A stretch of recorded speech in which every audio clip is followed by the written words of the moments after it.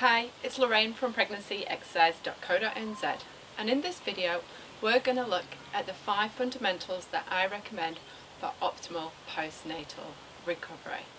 You know, you guys on YouTube, you've been following me for a while. If this is your first time to our YouTube channel, welcome. You often miss out on such valuable posts and blogs that I put onto the website and to our Facebook channels. So I thought it a good idea and now over the next few weeks that we're going to start to add many more regular videos on our YouTube channel. So please make sure you subscribe. So today we're looking at the five fundamentals that you should try and incorporate every day now that you're a new mum.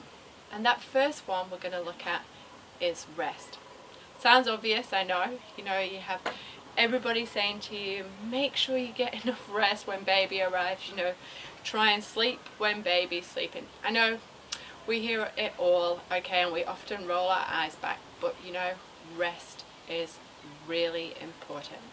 You're not going to survive the next couple of weeks, three months, six months and 12 months if you are not resting enough. You know, you're going to make yourself sick, overtired. When sleep de deprivation really sets in, you know, it's not safe, okay? It can even increase postnatal depletion and postnatal depression. So please try and rest when you can. Even if that just means, you know, ignoring the washing, maybe you know the house needs vacuuming, you know, you can actually do that when baby's up. Okay, take a minute, if you can sit down, pop your feet up, if you can pop your feet up, lie down. One of the second fundamentals is exercise or movement. Now, that's not exercise, that's not going back, hitting the gym, you know, getting down on the floor, give me 20 crunches or lunging around your living room. It's the type of exercise that helps you to optimally recover. It's rehabilitation exercises. It's learning how to connect with your core muscles correctly. Exercise that's going to promote correct you know, wellness also, you know, getting out for a nice 10 minute walk, you know, if the weather's great, that is going to all help your recovery. Our Birth to Fit Mum program is ideal as this is what it promotes. It promotes optimal recovery and wellness for the mum. Third fundamental is nutrition. It's vitally important that after baby, pregnancy and birth that you nourish your body. Increasing your protein intake will help repair cellular, it will help repair at a cellular level. Okay, so any internal bruising, any internal damage, increasing your protein stores will start to help repair that. Also as well, the more we nourish our bodies, the extra energy, the better and more sufficient energy output that you're going to have throughout the day.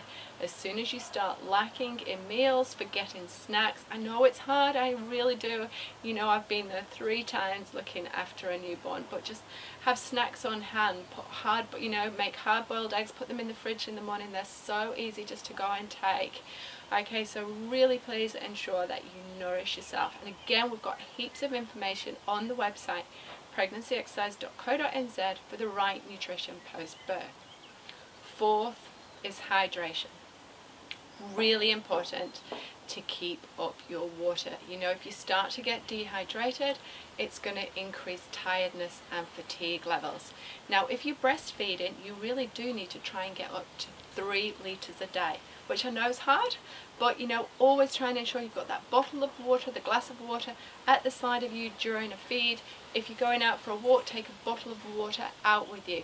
Always have water around you and that way it, you should be encouraged to drink that as you need to and what the amounts that you need to throughout the day. Finally, the fifth one is you time or mummy time as I tend to call it. That's 10 minutes a day when you're by yourself, not with baby, either reading a book, collecting your thoughts, having a couple of stretches, having a cup of coffee, reading a trashy magazine, having a longer shower. You need that new mums. It's really important. So if you can incorporate those five steps the first couple of weeks up to the first 12 months, that's rest, movement, nutrition, hydration and you time, then you're going to optimally recover post the birth of your baby. I hope you enjoyed the video.